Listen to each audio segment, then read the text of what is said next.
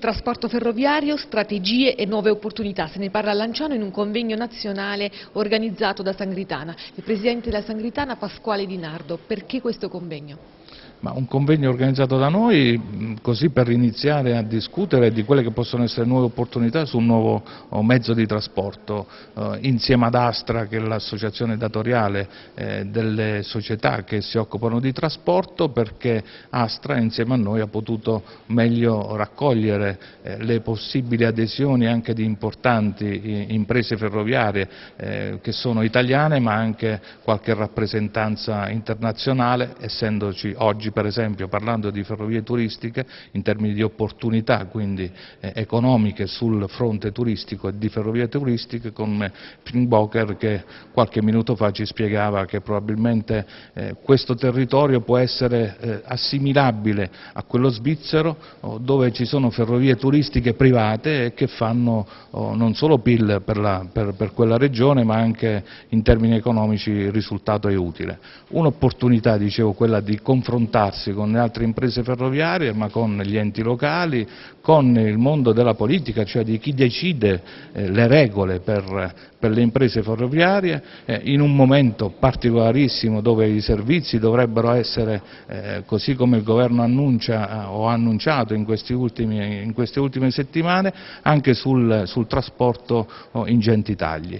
Un'opportunità in più quindi per ridisegnare quello che può essere uno scenario sul quale questa Regione questa azienda e in questo particolare territorio certamente non può chiamarsi fuori. Lo sviluppo del trasporto è anche lo sviluppo dell'economia, ma anche di, chance di vita eh, completamente diverse da quelle vissute fino ad oggi, con la possibilità di, eliminazione di, di, CO2, ma anche di numerosi mezzi che intasano le nostre strade e autostrade. Un'opportunità di riflessione. Ad apertura dei lavori si parla di turismo. Lei sta puntando sul rilancio dei treni eh, turistici della Sangritana. Dal treno della valle al treno dei parchi, di questo si parla?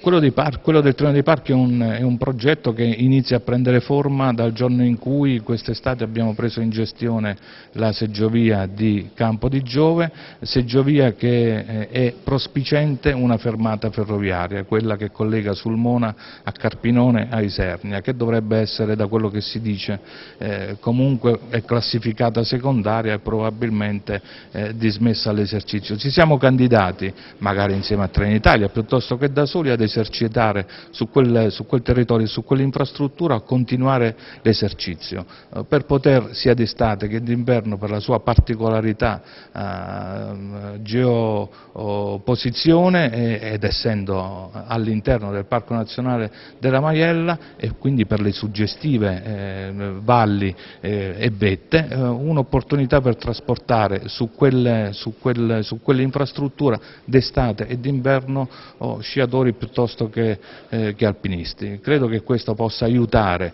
eh, non solo a far conoscere il nostro territorio, non solo a migliorare il PIL per, il nostro territorio e per la nostra regione, ma anche a creare delle opportunità in più oh, di crescita ah, per tutto l'intero mondo produttivo.